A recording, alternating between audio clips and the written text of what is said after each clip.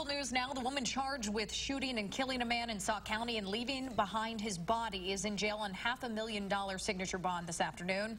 Amber Lundgren was visibly emotional when appearing via video this afternoon. She's charged with first degree intentional homicide after the state says Lundgren shot Christopher Little twice in the back of the head and the neck two and a half weeks before police found his body. According to the prosecution today, surveillance video showed Lundgren getting into the victim's car the night he was killed killed.